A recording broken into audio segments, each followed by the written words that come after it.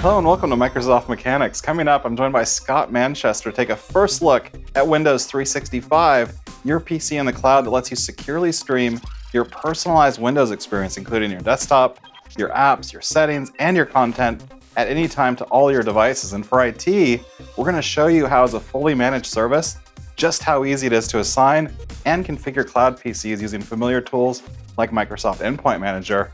All right, so Scott, we've had you on the show now quite a few times over the past few years, but now you're back with a special announcement. Yeah, Jeremy, it's been a while. Well, I sure am excited to have Windows 365 finally announced today, and I can't wait to show it in more detail. That's right. And you know, given the need to work remotely and securely over the past year, we've seen this huge demand for cloud-based solutions. So what's the significance now that we're doing here with Windows 365? So with Windows 365, we are modernizing the way that Windows experiences are delivered for anyone on practically any device. Now, it's a premium experience for both users and IT. It's easy to use and just as easy for IT to manage. And this, as you mentioned, is a whole new category of computing we call cloud PC.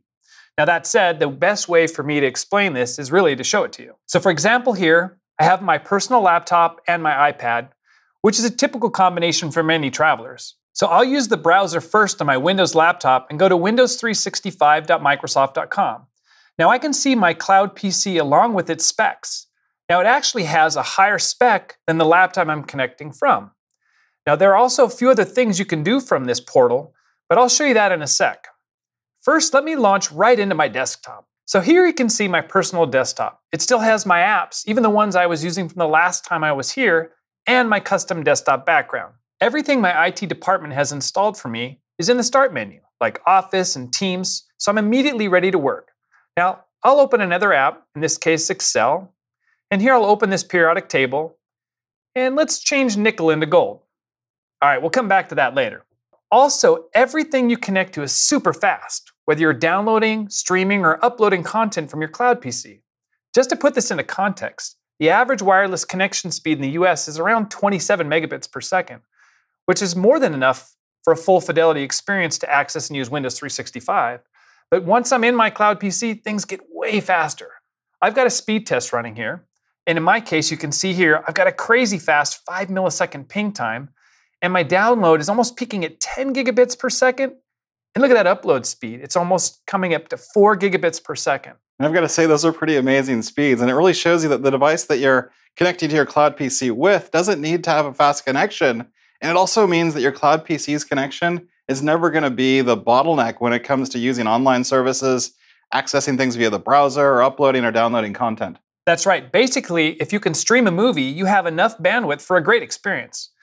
Now I'll close this browser window here on my laptop and I'll pick up exactly where I left off on my iPad. Now I'm on my iPad, I'm in the Safari browser, and I could launch here from the browser, but also we have native apps for iOS, Android, Mac, and Windows with Linux on the way. So I'll switch over to the native iOS app connected to my cloud PC, and you'll see it opens exactly how I left it in Windows. Now here you can see my speed test results are still there, and in Excel, nickel is still gold. Now in my case, I went straight from my Windows PC to my iPad, but I could have logged out on Friday in the US on my laptop and resumed on Monday in France from my iPad, and the experience would have been exactly the same. Right, and to be clear, just like you have your own physical PC, this is your own persistent Windows PC in the cloud. So it'll be the same one today or a year from now as long as it's still active. Absolutely. And this really opens up new possibilities to securely connect to a persistent and always ready Windows environment with your personalized desktops, apps, files, and even your settings, all delivered from the Microsoft Cloud.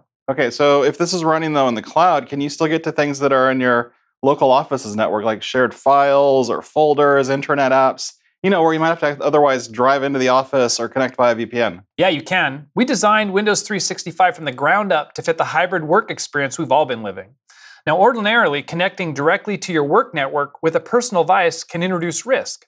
But because your cloud PCs can always be connected to your work network, you don't need to worry about local or VPN access from a personally owned device. With Windows 365, your cloud PC experience is effectively the same as if you were in the office.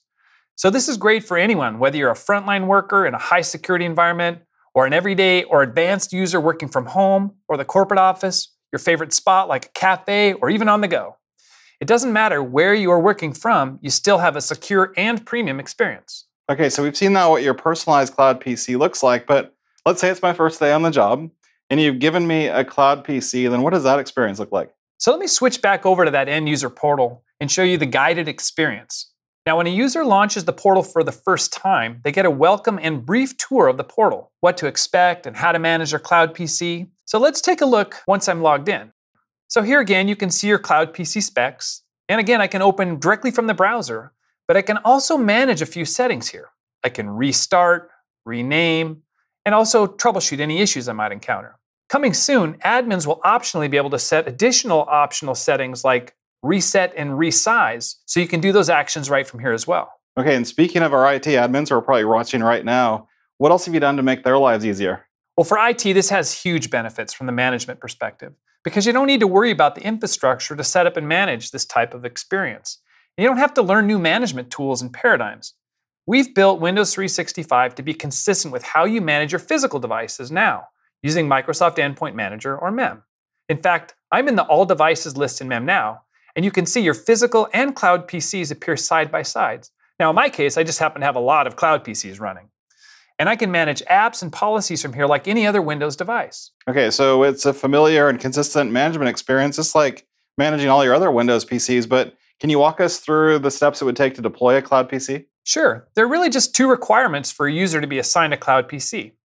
First, they need a license, and second, they need to be part of an AAD group that's assigned to a provisioning policy. Let me walk you through that. So you start here in the Microsoft 365 Admin Center and assign licenses just like you would from any other Microsoft 365 service. And this step could be done by your licensing admin. Now I'll click into Active Users and assign one to our new intern, Adele Vance. Now I'll go ahead and give her a cloud PC. In this case, let's do 4 cores and 16 gigs of RAM. And while I'm here, I'll also set her up with Microsoft 365. Now I have a group for our interns already assigned to provisioning policy. So for her account, I can just add Adele to this group. So you can see she's already in two default groups, but now I'll assign a new membership and search for West US, and there's our intern group. And once I add her, that will kick off the Cloud PC provisioning and will be ready to use shortly.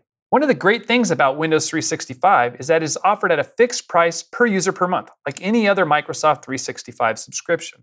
So you don't need to agonize over things like tracking utilization or keeping idle resources running when people aren't using them. Got it. So it's more or less the same user licensing experience that you'd be used to for Microsoft 365, but what did you have to do to get that group assignment then to kick off the provisioning process? So let me show you how we set this up. First in MEM, you can see I have 26 machines provisioned and three network connections in three different regions. Now, in our case, we have set up Adele to access her cloud PC using the West US standard network connection. In our provisioning policies, I'll click into the one I assigned to this group, and you can see under Image, we are using our curated Windows 10 20H2 build from the gallery. But also, we could have uploaded and selected our own custom image. Adele is assigned to the West US interns provisioning policy that contains all of these settings, including the network connection. Now, you see the policy name in this case, as a best practice, matches our group name. And in assignments, you'll see the AAD group of West US interns we added Adele to earlier. Can you have more than one group then assigned to a provisioning policy? Yeah, you can add multiple AAD groups to a provisioning policy. Now, if I go back to the Windows 365 tab, we should see all our existing provisioned cloud PCs and a new cloud PC being provisioned for Adele. And she should have access to this cloud PC in about 20 minutes. So, can I localize then the connection to just the regions or specific networks where that group should probably have access then for the best experience? That's right. You can create network connections in Azure regions that are closest to where your users are physically located for the best performance which is great too for multinational orgs. So once everything is up and running, what do we have then to monitor health and performance? Well, I know that's something that's top of mind for a lot of people, and this was a huge area of focus for us. So first, let's look at the network connections. We've built analytics into the service to look at health across your VNets and domain connections, as you can see here, to make sure Cloud PC's users can reach everything they need to on your network to be productive.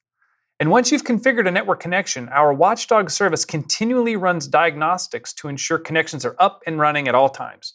Now, if a diagnostic check fails, we'll alert you and even give you suggestions for how to correct the issue. Now, we've also built rich out of the box reporting and analytics for cloud PCs.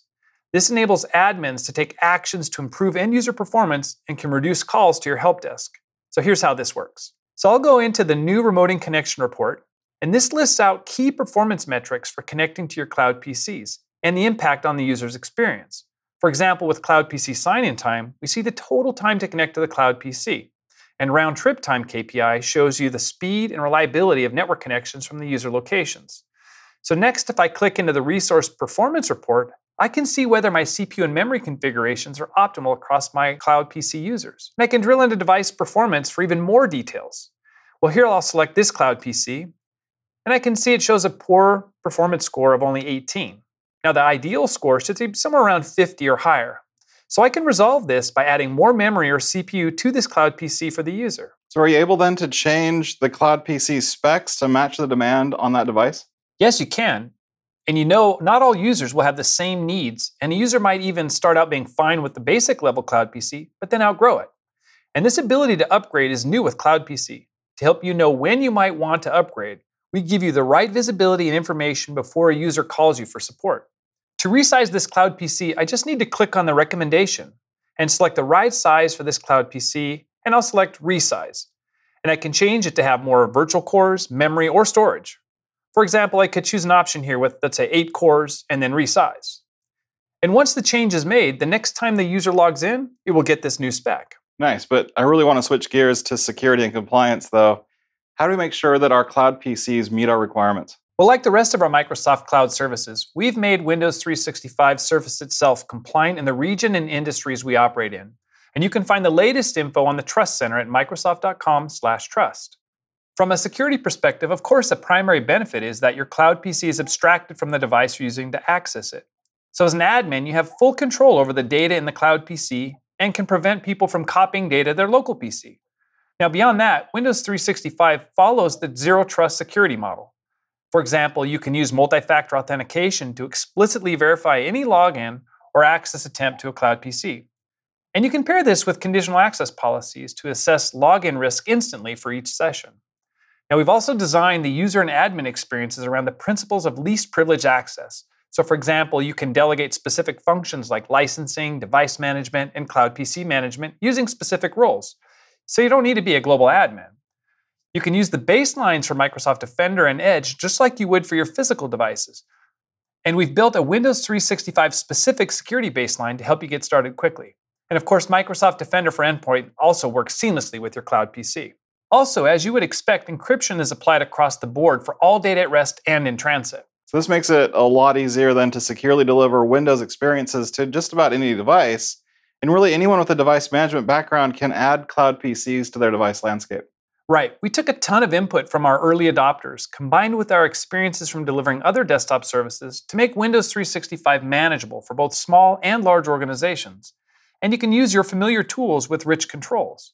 Now, everything I've shown you today is part of our vision to transform the PC experience so that you can work remotely or in hybrid office environments securely and from any device. So, the overall experience then is pretty game changing for both end users and IT. So, congrats to you and the team. But how can the folks watching try out Windows 365 for themselves? Well, we'll be launching Windows 365 in early August. So, depending on when you're watching this, it's either super close or generally available already. Just go to Microsoft.com slash Windows 365 to get started.